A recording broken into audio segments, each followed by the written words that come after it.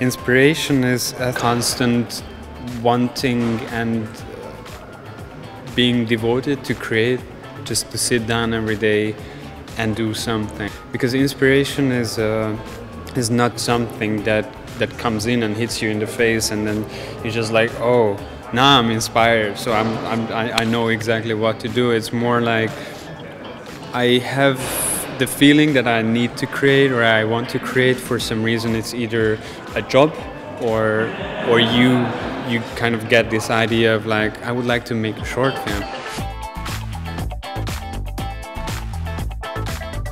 For my project at the uh, HPZ event, I'm working um, on the idea that we are all currently in a arcade video game. The one thing I did notice was there's a lot of old industrial feel, um, giant cavernous warehousey space um, with lots of bricks and lots of blocks, and so that really triggered a pixel idea in my mind, and I started feeling like it was the flow that we will have over the four days will be a bit of a backwards and forwards because we'll be stuck in this space, similar to an arcade game.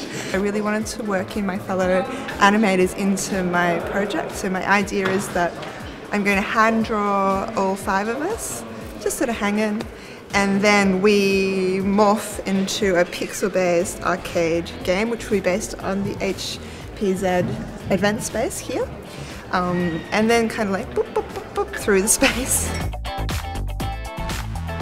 I mean, it takes time, of course, you have to have a lot of patience and keep on trying and keep on developing yourself and look what other, other people are doing and get influenced and get inspired. But just uh, look what you want to do and keep on doing that, and that's normally how it works.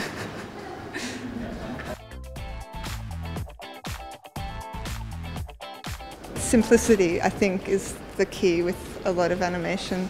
Um, because it's a, it can be it's a very powerful like you can you can there's a lot of things you can add into it and you can create like effects and crazies and all sorts.